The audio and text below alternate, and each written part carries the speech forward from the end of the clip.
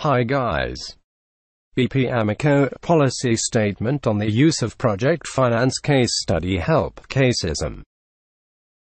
Following the BP Amoco merger in December 1998, CFO David Watson asked Bill Young recommends when and under what circumstances the company should fund outside projects instead of using internal company funds to finance new investments. As part of this mission, Young and his team should review the current policy of each company with respect to the financing of projects and assess the various reasons for the use. After this review, the team created a new policy statement recommending that the financial assets of BP Amoco expenditure using company funds, except in three circumstances, mega projects, projects in politically unstable areas, and joint ventures with heterogeneous partners. If the general rule to use the funds of enterprises and whether specific exceptions to this rule are appropriate to the entity resulting from the merger is subject to class discussion.